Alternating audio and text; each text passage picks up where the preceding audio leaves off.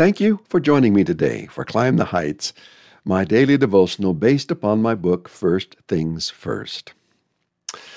You know, dear friends, one of the most dangerous things that we do every day, if not the most dangerous thing, is riding in our automobiles.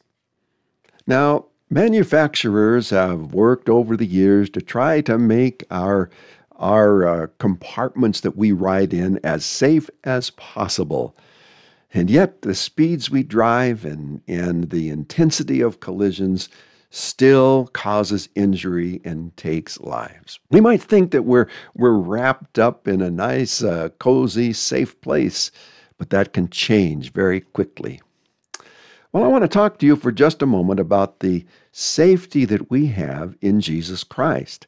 And we find it in Revelation chapter 1, verses 17 and 18, where the Apostle John is uh, confronted with Jesus. And he wrote, When I saw him, I fell at his feet as though dead, but he laid his right hand on me, saying, Fear not. I am the first and the last, the living one. I died, and behold, I am alive forevermore, and I have the keys of death and Hades. Well, let's pray. Today, my Heavenly Father, I say with the psalmist, Bless the Lord, O my soul, and all that is within me, bless his holy name. Psalm 103 1. Fear is not something that needs to be part of my life because Jesus is the first and the last of all things. In other words, Lord, I am wrapped up, surrounded by, and filled with your presence. Hallelujah.